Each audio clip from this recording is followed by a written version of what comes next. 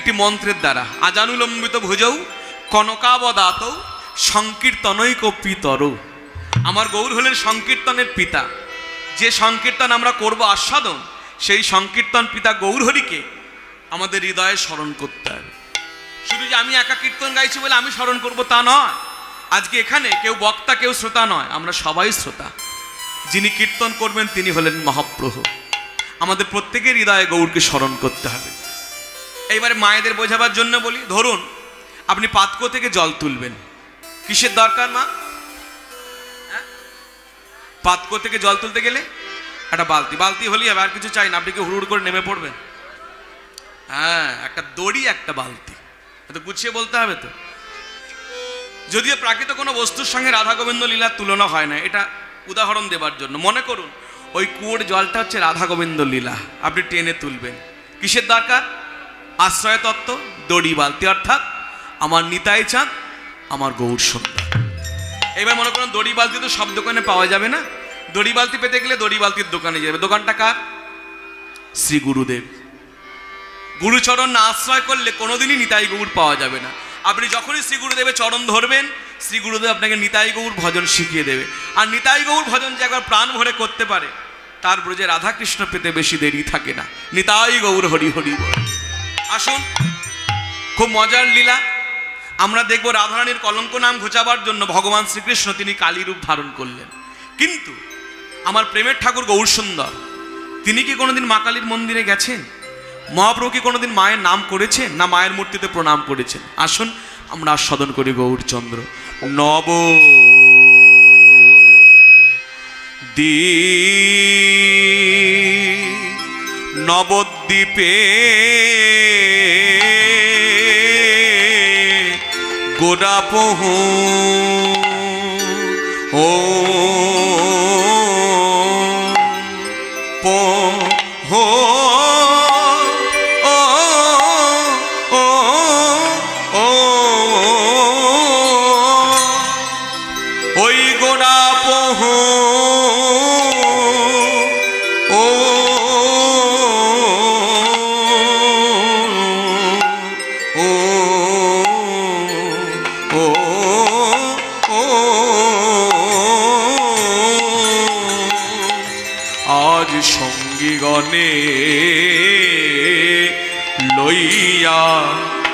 পুলকিত হিয়া আ আ নব। নবদ্বীপে গোড়া পহু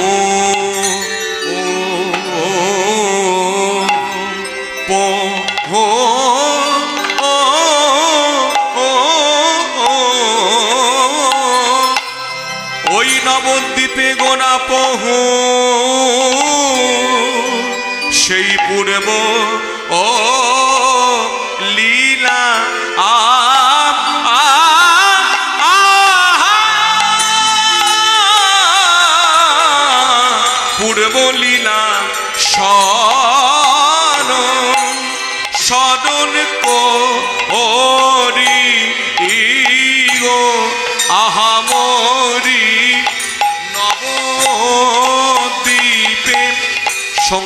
Oh.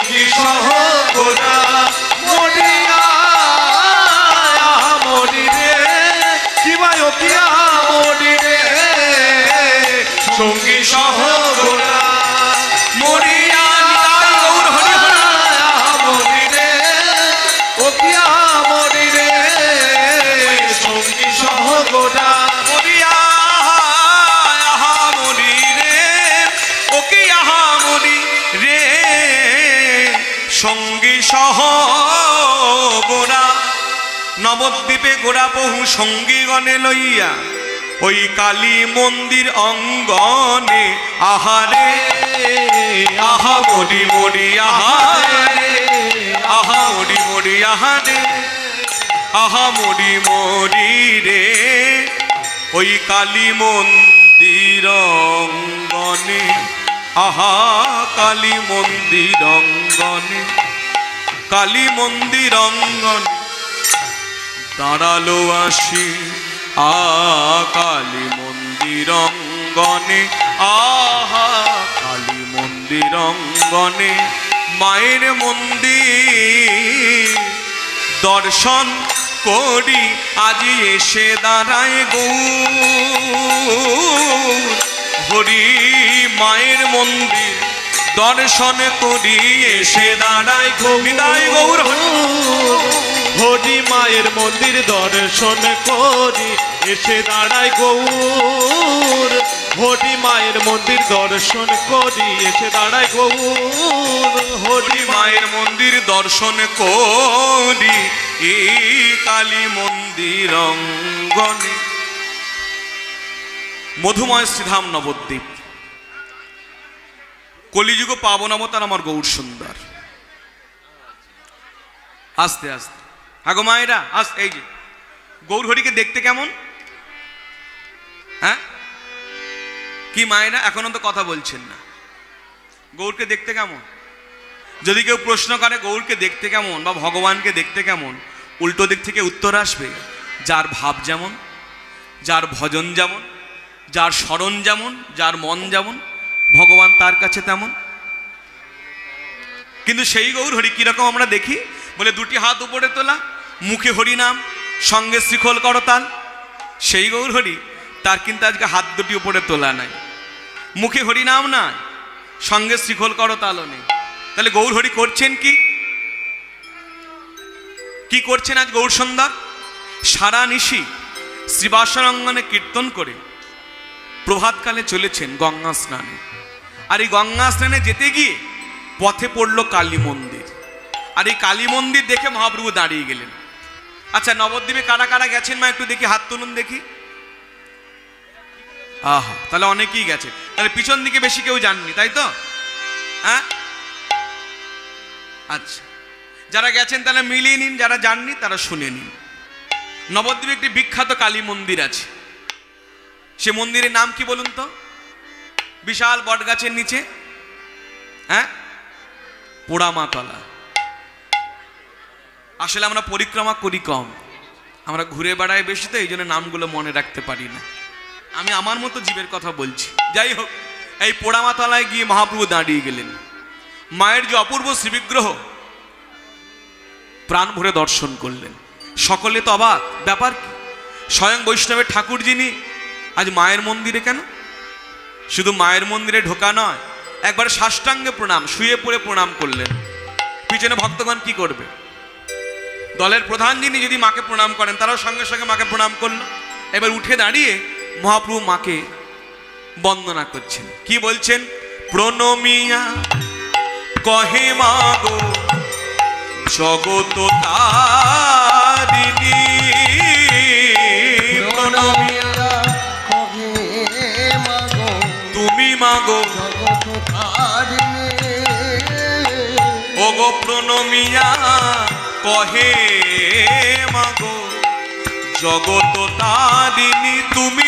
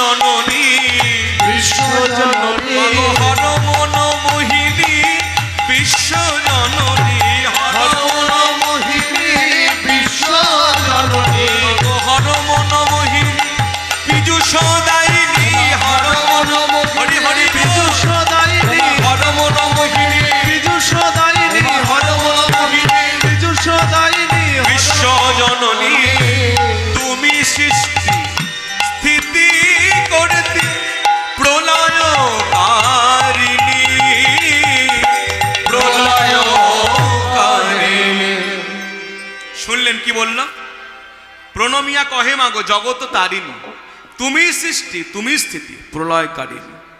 ভক্তগণ অবাক, কি বলছেন? কে বলছেন? কাকে বলছেন? আসলে বহুদিন ধরে মন দিয়ে শুনুন মা, পায়ে ধরে বলি কথাগুলো, খুব মন দিয়ে শুনুন। বহুদিন ধরে আমাদের এই ভারতবর্ষে একটা দ্বন্দ্ব চলে আসছে, ঝগড়া। কিসের ঝগড়া? দুটি দলে ঝগড়া, শাক্ত এবং বৈষ্ণব। শাক্ত কারা? যারা শক্তির উপাসনা করে মা কালীকে ভালোবাসে, আর বৈষ্ণব কারা? বিষ্ণু জানতী বৈষ্ণব, যারা কৃষ্ণকে ভালোবাসে। এই দুটি দলে ঝগড়া। কিসের ঝগড়া? যে যাকে ভালোবাসে সে তাকে বড় করে। যে কৃষ্ণকে ভালোবাসে কৃষ্ণকে বড় করে, যে মা কালীকে ভালোবাসে সে মা কালীকে বড় করে। করুক, তাতে কোনো ক্ষতি নাই। কিন্তু যে কৃষ্ণকে ভালোবাসে সে মা কালীকে ছোট করে তবে কৃষ্ণকে বড় করছে। এই জানিস, তোর মা কালী কি পারে? আমার কৃষ্ণ কি করেছিল? আবার যে মা কালীকে ভালোবাসে সে কৃষ্ণকে ছোট করে মাকে বড় করছে। এই যে কত বড় ভুল তথ্য সেইটাই প্রমাণ করার জন্য মহাপ্রভু মায়ের মন্দিরে। এবার মায়ের দিকে তাকিয়ে বলছেন মা গো যারা তোমায় চেনে না চেনে না যারা তোমার তত্ত্ব জানে না জানে না তারা তোমাতে আর কৃষ্ণতে ভেদ করে মা। ভেদ করে মা। এখনও দেখবেন অনেক প্রত্যন্ত গ্রামে গেলে দেখা যায়। চায়ের দোকানে বসে চা খায় আর এই নিয়ে তর্ক জোরে। এ বলছে, মা কালী বড় বলছে, কৃষ্ণ বড়।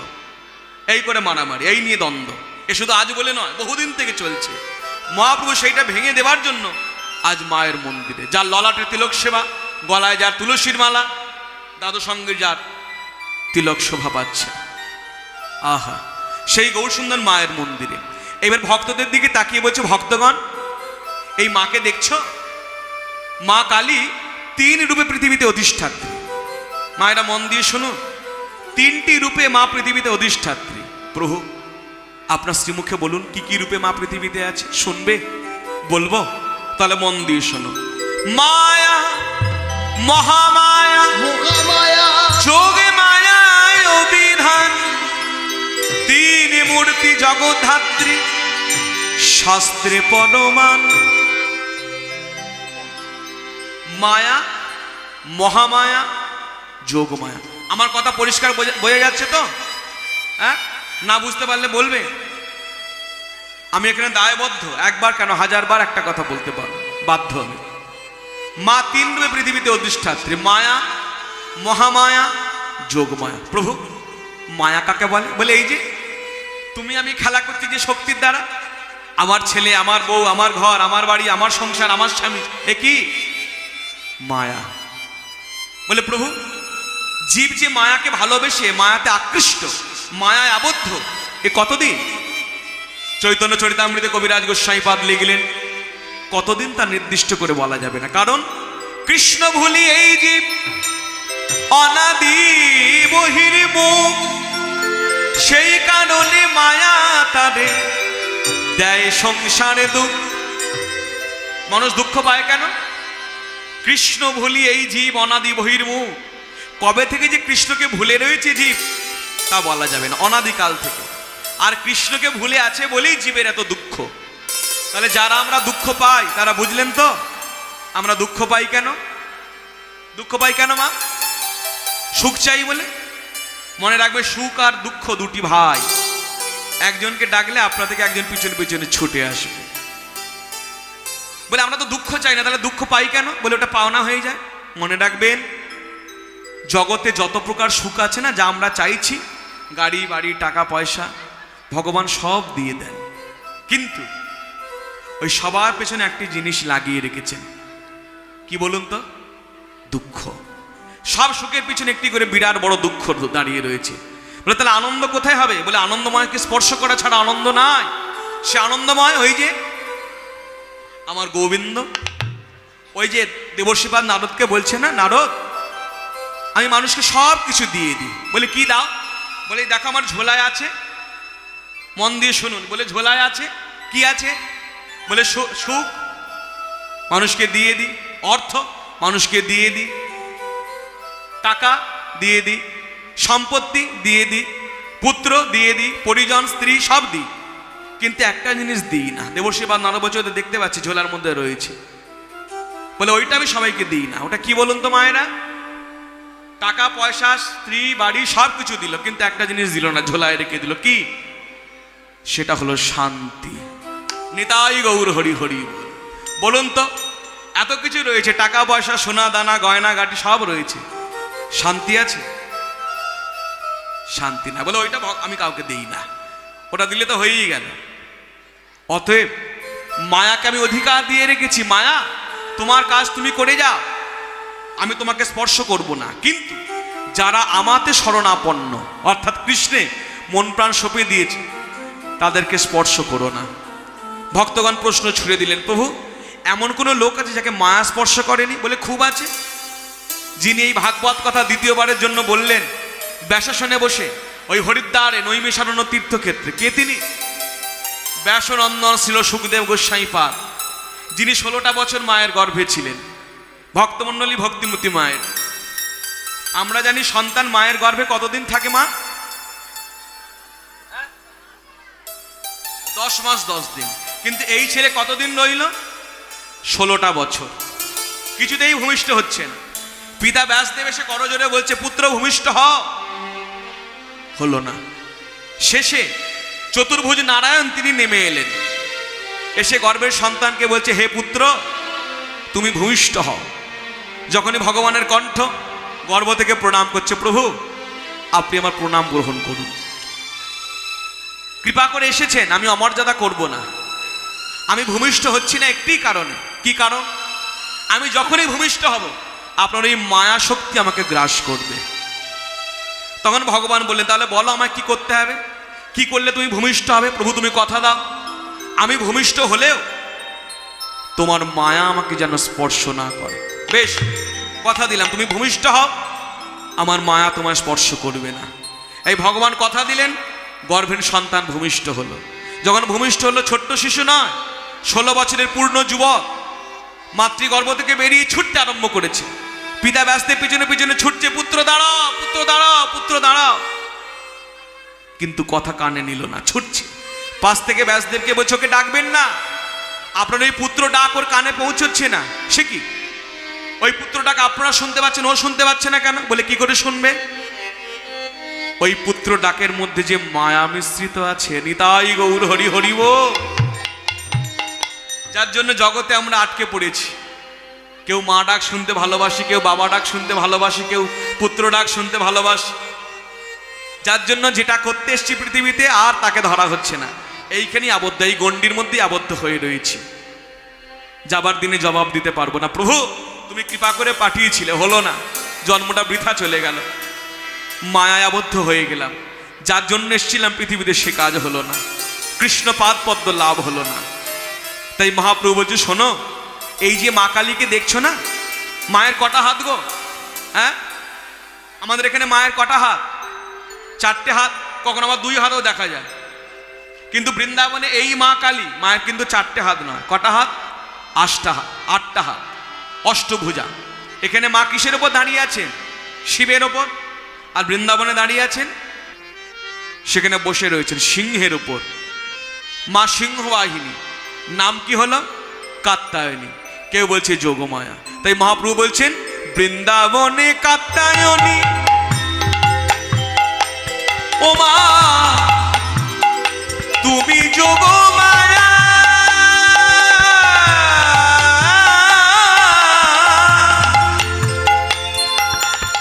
তোমার কৃপায় গোপী পেল কৃষ্ণ পদ ছায়া বৃন্দাবনে তুমি যোগমায়া তোমার কৃপায় গোপী পেল কৃষ্ণ পদ বৃন্দাবনে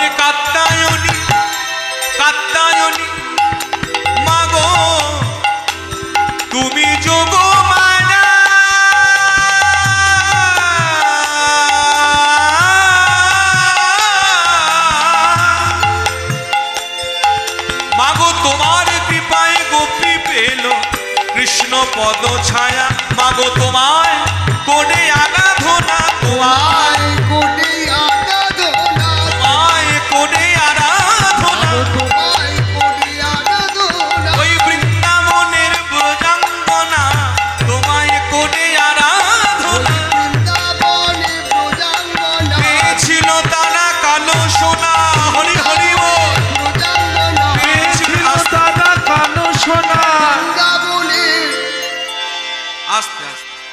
একটা কথা বলব, কেউ কিছু মনে নেবেন না তো?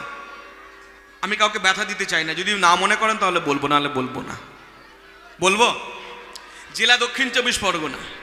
এই জেলায় এত কীর্তন হয় আর এত কীর্তনীয় আছে, অন্যান্য কোনো জেলা পেরে ওঠে না। কিন্তু কি আশ্চর্য, আমি অবাক হয়ে গেলাম। এই রকম একটি জায়গায় আমরা সবাই জানি, নিতাই গৌর হরি হরি বল বললে হাত দুটো এইভাবে তুলতে হয়। তুলি না মা? কিন্তু যারা সামনে বসছে, তারা সবাই তুলছে। যারা পিছন দিকে বসে, তারা কিন্তু কেউ হাত তুলছে না। ভাবছে আমরা অন্ধকারে বসছি, না তুললেও হবে। এখানে কিন্তু কারও ছাড় নেই, তুলতে সবাইকে হবে। দেখবেন হাত আমরা দুবার তুলি। একবার এইভাবে তুলি, একবার এইভাবে তুলি। এইভাবে কখন তুলি? এটা হচ্ছে সমর্থনের ভঙ্গি। কোনো সভায় গেলে দেখবেন, কোনো কেউ প্রস্তাব রাখলে যদি মনোমত হয়, সমর্থন করলাম।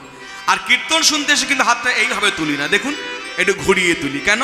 আগেরটা ছিল সমর্থন, এটা হলো সমর্পণ। হে গৌর সুন্দর, হে গোবিন্দ, হে রাধারানী। একে আমি কলিহত জীব, তার উপর মায়াবদ্ধ জীব।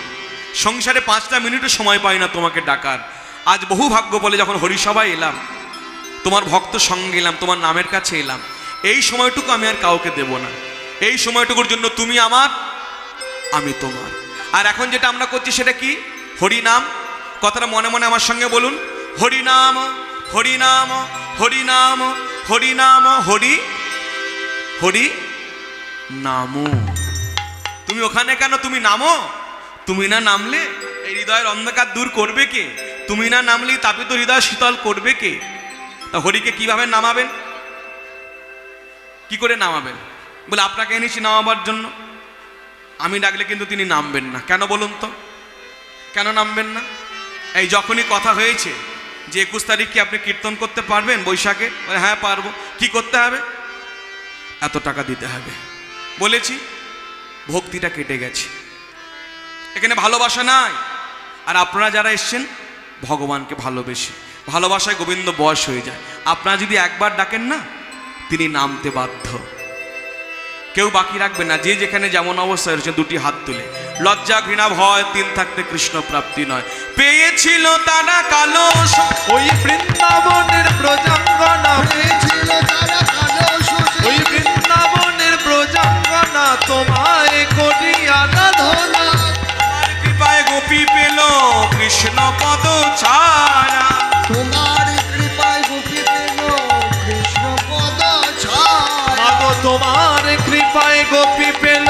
কৃষ্ণ পদ ছায়া, তোমার কৃপায় গোপী পেল কৃষ্ণ পদ ছায়া। তোমার কৃপায় গোপী পেল কৃষ্ণ পদ ছায়া। তাহলে ভক্তগণ, তোমরা অনুভব করলে তো, কৃষ্ণকে পেতে গেলে এই মাকে ডাকতে হবে। মা কালী শরণাপন্ন না হলে কৃষ্ণ পাওয়া যায় না। প্রমাণ, বৃন্দাবনে ব্রজগোপীগণ এক মাস তারা কাত্তায়নী ব্রত করেছিল না? সেই কাত্তায়নী ব্রত কিন্তু আজও আছে। নিয়মসভা ব্রতের পরপরই শুরু হয়ে যায়। আজকালকার দিনে দেখা যায়, কম বয়সী, অর্থাৎ আমাদের বয়সী ছেলে মেয়েরা তারা এখন কাত্তায়নী ব্রত করে। অতএব তারাও বুঝেছে, কৃষ্ণকে পেতে গেলে মাকে স্মরণ করতে হবে।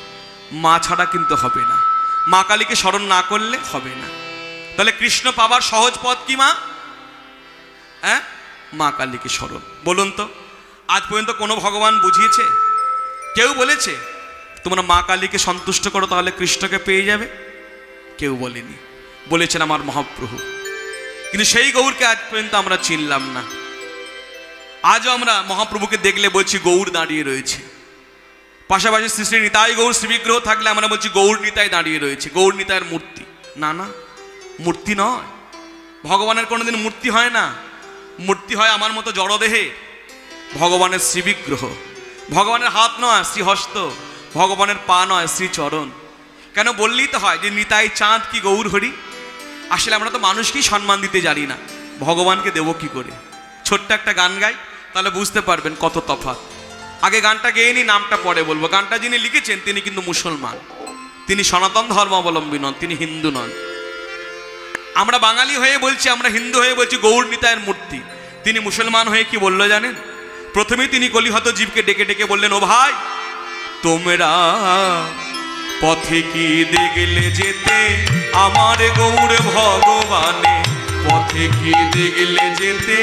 আমার গৌর ভগবানে পথে কি দেখলে যেতে? আমার গৌর ভগবানে আমার গৌর ভগবানে যারে কোলে যায় না দাওয়া কোলে দেয় সে ডেকে তারে যারে কোলে যায় না দাওয়া বলে দেয় সে দেখে তাদের ওগো যারে কোলে যায় না দাওয়া যারে কোলে যায় না দাওয়া যারে কোলে যায় না দাওয়া কোলে দেয় সে ডেকে তারে পথে কি গেলে হরি হরি বল। আমার গৌর ভগবানে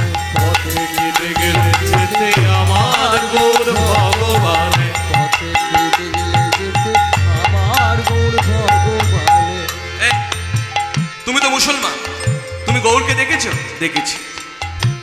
চিত্রপট। অনুভব করেছি হৃদয়ে দিয়ে। আচ্ছা বলো তো, গৌরের রূপটা কীরকম? শুনবেন? আমি তো মুসলমান, আমার মুখে শুনবেন গৌরের রূপটা কীরকম? তাহলে বলি, শুনুন। নবীন সন্ন্যাসী, সে রূপে তার পাগল করে। হরি হরি সন্ন্যাসী, সে রূপে তার পাগল করে। নবীন সন্ন্যাসী, সে রূপে তারে পাগল করে। নবীন ওগো যারে কোলে যায় না দাওয়া কোলে দেয় সে ডেকে তারে।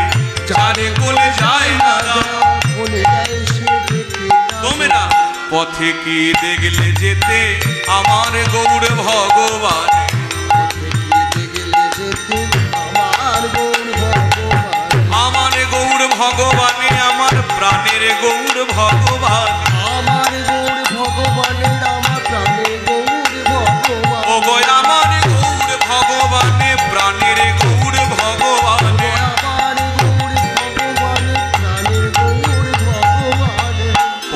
কি দেখলে যেতে? আমার গৌর ভগবানে।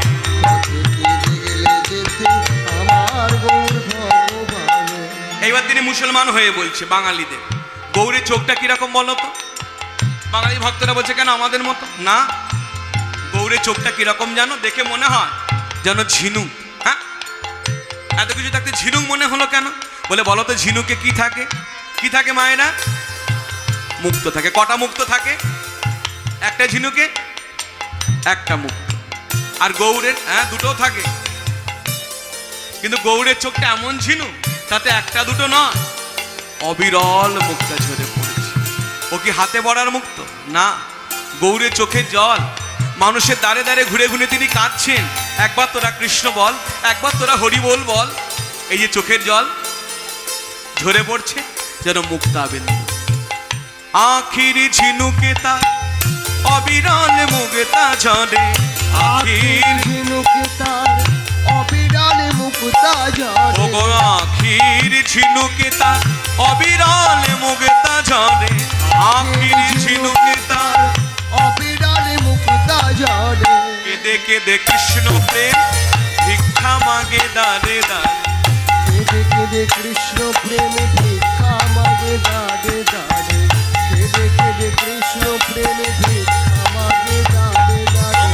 পথে কি দেখলে যেতে? আমার গৌর ভগবান। পথে কেঁদে গেলে যেতে? আমার গৌর ভগবান। পথে কেঁদে গেলে যেতে? আমার গৌর ভগবান। শুধু একবার বললে হরি যাইনি সে ভব পারে।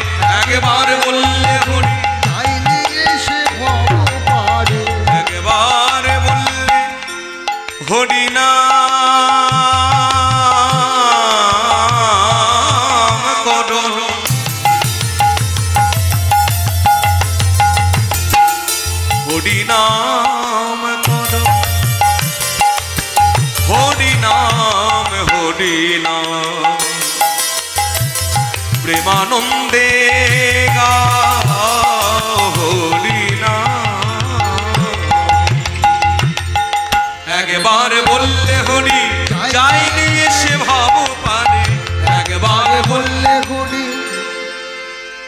নয় করে পাঁচ, ছয় বার বলে ফেললাম যে একবার বললে হরি, যাই নিয়ে সে ভাব পারে।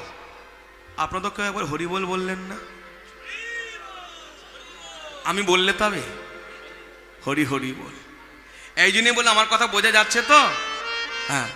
তাহলে একবার তো হরিবল বলতে হবে। আপনাদের কি ইচ্ছা নেই বলবার? তাহলে একবার বলুন। একবার বললে নিতাই গৌর হরিবল হরিবল হরিবল হরিনা হরিনা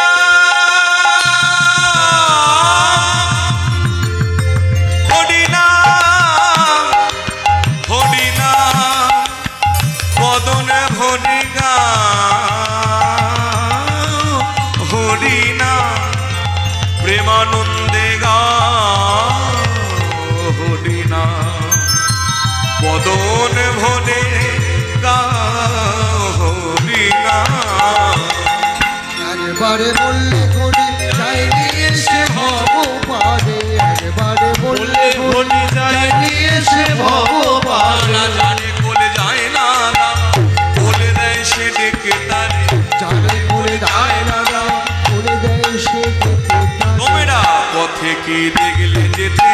আমার গৌর ভগবানে পথে কি দেখলে যেতে? আমার গৌর ভগবান। আমার গৌর ভগবানে আমার প্রাণের গৌর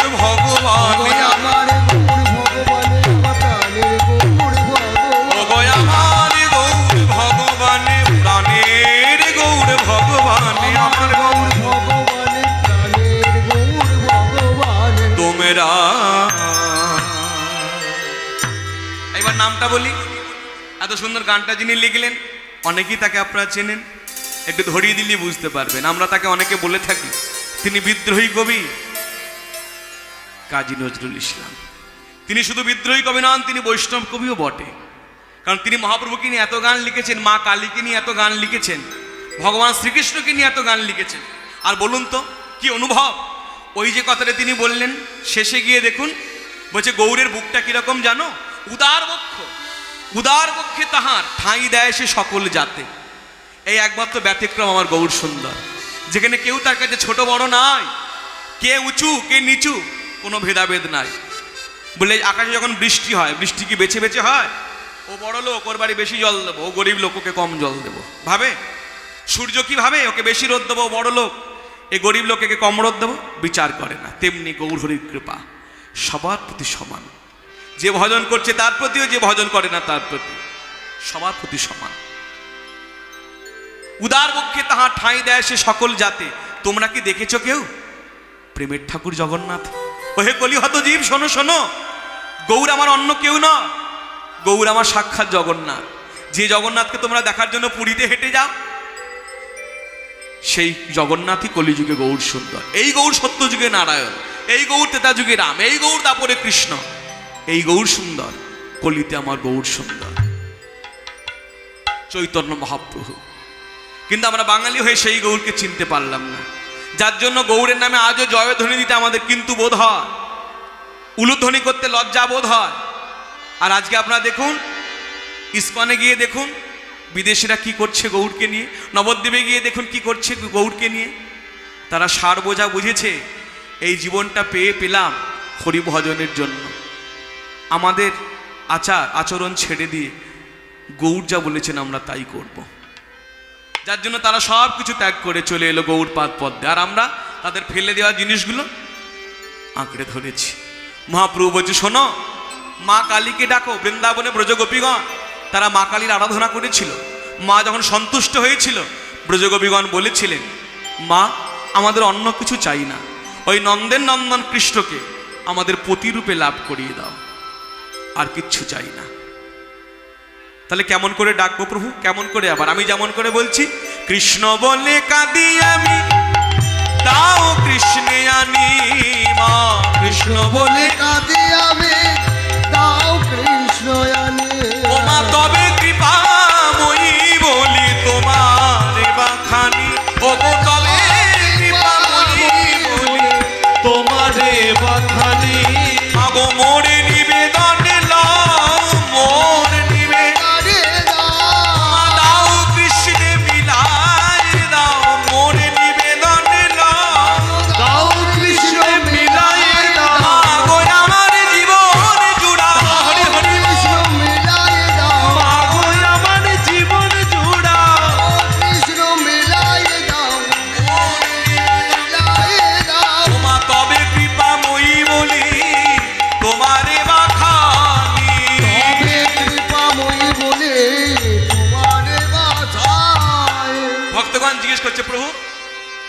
যারা মা কালীকে বড় করে, কৃষ্ণকে ছোট করে, তারা অপরাধী।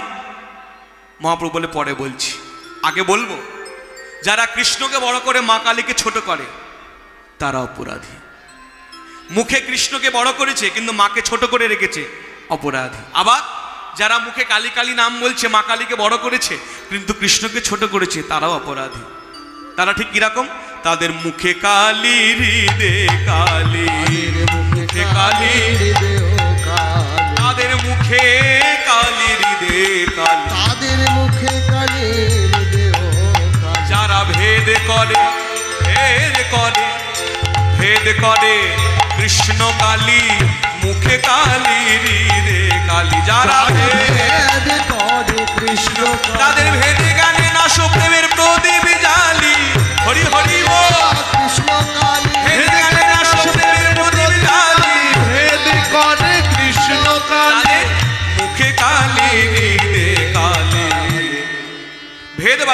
জনে, তোমার তত্ত্ব নাহি জানে। কহয়ে বৈষ্ণব দাসে, তাদের শান্তি দাও প্রাণে। আচ্ছা অনেকক্ষণ থেকে দেখছি দূরে দাঁড়িয়ে দাঁড়িয়ে দুজন সব কিছু লক্ষ্য করছে। না না, মায়েরা ওদিকে তাকাবেন না। ও আমার বলার অপেক্ষা। যেই বলেছি দূরে, অমনি মায়েরা ঘাড় ঘুরিয়ে দেখছি। আমি এখানকার কথা বলি না, আমি নবদ্বীপের কথাই বলছি। দূরে দাঁড়িয়ে দাঁড়িয়ে কারা লক্ষ্য করল? দুই নদিয়া নাগরী প্রতিদিন কাকে কলসিটা নিয়ে ওই সুরধুনি গঙ্গার ঘাটে জল আনতে আসে। আজও এসেছে। কেন আসে? গৌরকে একবার দেখবে বলে। কিন্তু গৌর ওই যে মায়ের মন্দিরে ঢুকেছে আর বেরোচ্ছে না। এই দুই নদিয়া নাগরী তখন বলছি, সই, গৌর আজকে হঠাৎ এত কিছু ছেড়ে মায়ের মন্দিরে কেন? বলে, তুইও যেখানে আমি সেখানে কি করে বলব? তাতে যে কথা বললে কাজ হবে, সেই কথা শোন। দেখবেন, মেয়েরা যেখানে কোনো কথা শোনে না, কত শুনল। যতক্ষণ না সেই কথাটা এসে আর একজনের সঙ্গে জল ঘোলা করবে ততক্ষণ কিন্তু শান্তি নেই। এই সই, এই গৌরকে তুই চিনিস? এই গৌর কে বলতো? সচি সচিমার ছেলে, জগন্নাথ মিশ্রের ছেলে। আর কিছু জানিস না? উমা, তুই তো আসল কথাই জানিস না। ওর একটা গোপন পরিচয় আছে। বলব, শুনবি? বলি তাহলে। এই গৌর কে গো? এসেছে। এসেছে। এসেছে। বাবা। তখন থেকে শুধু এসেছে আর এসেছে। কে এসেছে কোথা থেকে এসেছে কি জন্য এসেছে কবে এসেছে কি করতে এসেছে সেসব বল। বলব। এই দেখলে আগ্রহ আছে এইবার বললে কাজ হবে। এক একটা লোকের স্বভাব আছে গো মা, আপনি কথা বলতে যাবেন? না না ঠিক আছে ঠিক আছে ও আমার জানা আছে ঠিক আছে। ওই সব লোকের কাছে কোনোদিন কথা বলে সুখ নেই। ও তো আগে থেকে সব জেনে বসে রয়েছে। যার কাছে বললে শুনবে তাকে বলতে হবে। দেখলে আগ্রহ আছে বল বল। এবার বলতে হবে। কে এসেছে? এসেছে ব্রজের বাঁকা। কালো সখা আয় তোরা দেখবি আয় দেখবি আয়। তোদের এই নদী আয় এসেছে ব্রজের বাঁকা ভালো সখা আয় তোরা দেখবি গায় দেখবি আচ্ছা আমি একটা কথা আগে ভাগে জেনে নিই। আমি কি এইভাবে দাঁড়িয়ে দাঁড়িয়ে গাইবো না নেচে নেচে গাইবো? হ্যাঁ? নেচে নেচে গাইলে ভালো হবে। ঠিক আছে আমি নাচবো। কিন্তু আমি যদি নাচি আপনারা আমায় কিছু দেবেন তো? হ্যাঁ? কারণ আমরা কীর্তন গাইতে এসেছি আমরা তো নাচতে আসিনি। তবু আমরা নাচি। কি দেবেন মা? হাতে তালি? না না না না না। আসতে। ও মুড়ি ভাজার মতো আওয়াজ হয়। চটবার চটবার করে। ও দরকার নেই। একটু উলুধ্বনি করবেন, একটু জয়ধ্বনি করবেন। হবে তো? আমি এখন বললাম, কি বলি আর কি বুঝি? বললাম, যখন নাচবো তখন। এসেছে ব্রজের বাঁকা, কালো সখা। আয় তোরা। আমি বলছি যদি নাচি যদি ভালো লাগে তারপর। আয় তোরা দেখবি আয় দেখবি আয় তোদের এই নদী। এসেছে ব্রজের বাঁকা কালো সখা আয় তোরা দেখবি রং ফিরেছে ঢং ঢং ফিরেছে ঢং ফিরেছে ঢং চেনা দায় চেনা দায় তোদের নদিয়া। এসেছে ব্রজের বাঁকা কালো সখা আয় তোরা দেখবি গায় দেখবি এসেছে ব্রজের বাঁকা কালো সখা আয় তোরা দেখবি আয় দেখবি আয় তোদের নদিয়া। আরে আস্তে আস্তে। তুই ওকে বলছিস বৃন্দাবনের কৃষ্ণ? বলে হ্যাঁ? ওই গৌর তো বৃন্দাবনে ছিল কৃষ্ণ হয়ে গৌর হয়ে এসছে নবদ্বীপে।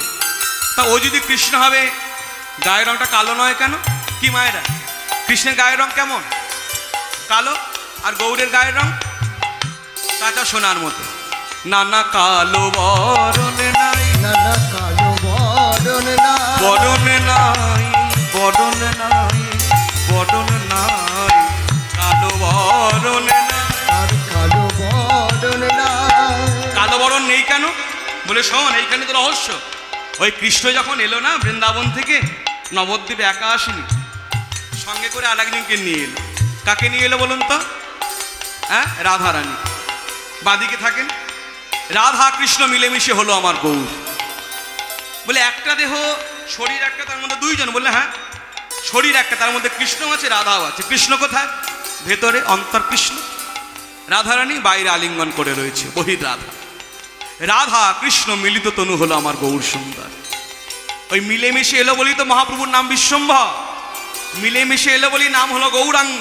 মিলেমিশে এলো বলে নাম হলো চৈতন্য। মিলেমিশে এলো বলে নাম হলো গোড়া। এক একজন এক একজন নামে ডাকছে। নাম হলো নিমায় এই যে মহাপ্রভুর নাম গৌরাঙ্গ কেন? গৌর অঙ্গ গায়ের রংটা গৌর বর্ণ বলে নাম হলো গৌরাঙ্গ। বিশ্বম্ভর নাম কেন? নাম প্রেমে যিনি বিশ্বকে ভরিয়ে দিয়েছেন, তিনি বিশ্বম্ভর চৈতন্য নাম কেন? জীবের অজ্ঞান আধার দূর করে যিনি চৈতন্য দানকারী, তিনি চৈতন্য। আমি তিনটে বলে দিলাম। এবার মায়েদের বলতে হবে। বলুন তো মায়েরা, মহাপ্রভুর নাম নিমাই হলো কেন? হ্যাঁ? উত্তর যেন মুখে লেগেছিল। বলছে, নিম গাছের নিচে জন্ম, তাই নাম নিমাই।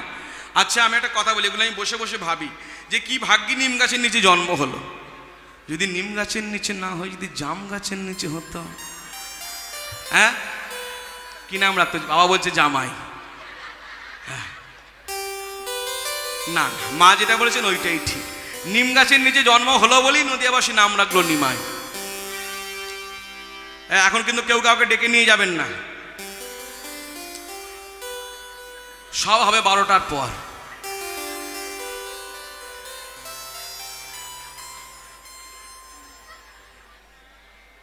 দেখেছেন তো? ইশারা করার কি গুণ?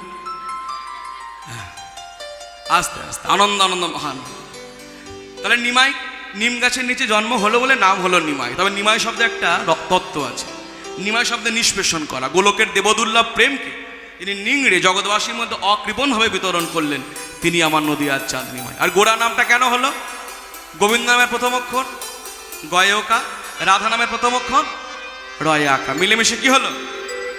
গোড়া। তার কালো বরণ নাই। তার কালো বরণ না আমার আই অঙ্গে অঙ্গ রেখে গৌর হলো। আমার আই অঙ্গে অঙ্গ রেখে গৌর গোলতা আমার আই অঙ্গে অঙ্গ রেখে গৌর হলো তা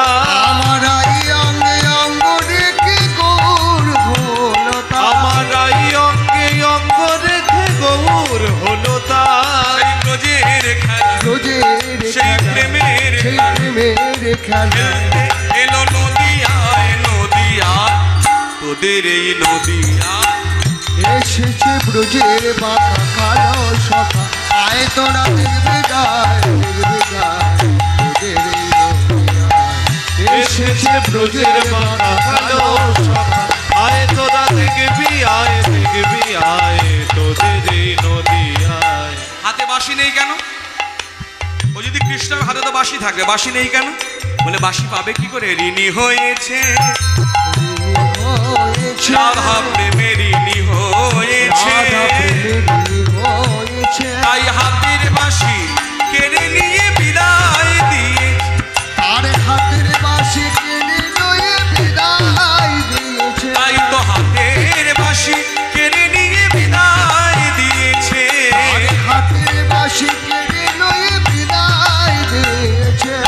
নেই নাম সাদেবে নাই নাম সাদেবে কিসে বাঁশি নেই নাম সাদেবে নেই নাম সাদেবে ওই বদনে তাই হরি নাম।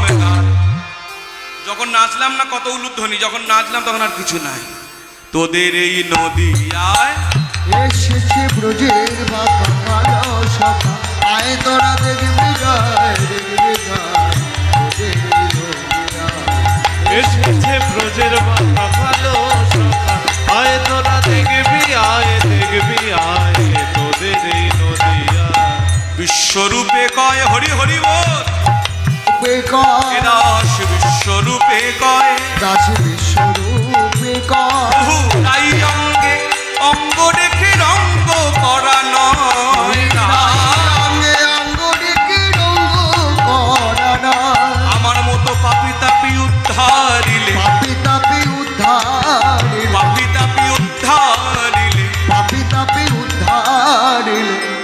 আসতে মায়েরা, দেখলেন হাতটা কোন দিকে দেখালাম? ওইভাবে দেখালাম। যখন পাপি তাপি বললাম, হাতটা কোন দিকে এই মাত্র বললাম পাপি তাপি। লক্ষ্য করেননি তো? এই জন্য বলছি, প্রতিটা জিনিস মন দিয়ে শুনুন।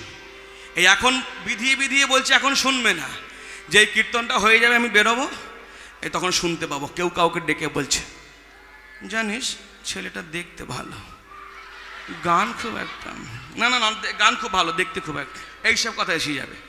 আর মন দিয়ে শুনলে গান কেমন, দেখতে কেমন নাচলো কেমন, এসব নয়। গৌড়ের মধ্যে কে আছে, গৌড়কে দেখতে কেমন, গৌড় কেন এলো? এইসব কথা জানতে ইচ্ছা করবে, বলতে ইচ্ছা করবে, শুনতে ইচ্ছা করবে। মন দিয়ে শুনুন। চরণে ধরে বলি, মন দিয়ে শুনুন। যখন পাপি তাপি বললাম, হাতটা এইরকম করে দেখালাম না? এখন মাথা নাড়ছে, একটু আগে দেখাচ্ছিল এরকম করে। এই রকম করে, কেন? মনে রাখবেন, আমরা এখন কেউ কাউকে পাপি বলি। হাতটা কীরকম করে দেখাই মা? ধরুন আমি ওকে পাপি বলছি, কীরকম করে বলব? এই, তুই পাপি, এরকম বলব? এই, তুই পাপি, তোর মতো পাপি এই দুনিয়ায় আর নেই। মনে রাখবেন, একটা আঙুল দেখি যখন কাউকে বলছি পাপি, এই বাদ বাকি তিনটে আঙুল কোন দিকে থাকে? বলুন, নিজের দিকে। আমি ওকে বলছি পাপি, আমি আমার নিজের দোষ যদি দেখি না, দেখব আমার মতো বড় পাপি জগতে আর দুটো নাই। জগতে সবাই সুন্দর। আমি একাই অপরাধী। আমরা তো নিজেদের দোষ নিজেরা স্বীকার করি না দেখি না বলেই জগতে এত মারামারি কাটাকাটি হানাহানি রক্তারক্তি। মহাজন শিক্ষা দিলেন লোককে পাপি বলার আগে নিজেকে পাপি বলো। মা সারদা দেবীও বলেছেন যদি মঙ্গল চাও অন্যের দোষ দেখো না নিজের দোষ দেখো। বৈষ্ণব জগতেরও তাই পাপি তাপি উদ্ধারিলে পাপি তাপি উদ্ধার আমার মতো পাপি তাপি উদ্ধারিলে কোল দিলে। আচন্ডালে কোল দিলে। তবেই খালাস ঋণের দায়। তোদের এই নদিয়ায় এসেছে ব্রজের বাঁকা সেই কালো সখা দেখবি আয়। তোদের এই নদিয়ায় তোদের সেই রাধা কৃষ্ণ, যে রাধা কৃষ্ণ ছিল ওই বৃন্দাবনে, কখনো পাশাপাশি, কখনো মুখোমুখি। এবে কলিজীবের ভাগ্যে সেই রাধা কৃষ্ণ হলো। একবারে মাখামাখি, আমার গৌর কিশোর, ভেদেবাদী মূর্খ জানে তোমার তত্ত্ব নাহি জানে, কহয় চৈতন্য দাসে, শান্তি দাও প্রাণে, হরি হরি বল।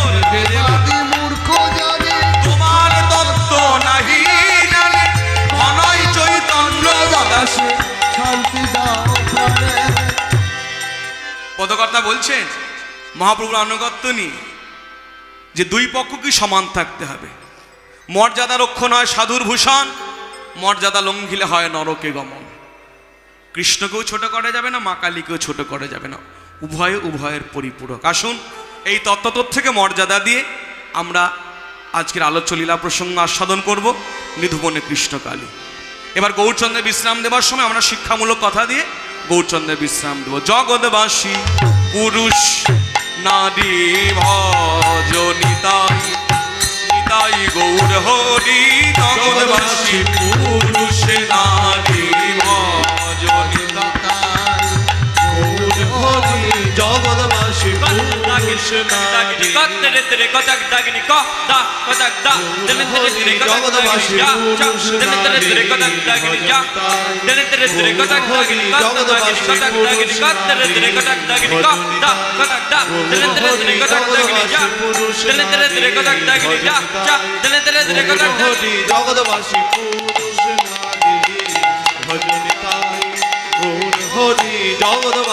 পুরুষ নারী ভজনিতাই গৌর হরি জগৎবাসী খিটিতা তা খিটিতা খিটিতা গৌর হরি জগৎবাসী পুরুষ নারী ভজনিতাই গৌর হরি জগৎবাসী পুরুষ নারী ভজনিতাই গৌর হরি জগৎবাসী পুরুষ নারী ভজনিতাই গৌর হরি জগৎবাসী পুরুষ নারী ভজনিতাই বৌ হরি জগৎবাসী পুরুষ নারী ভজনিতাই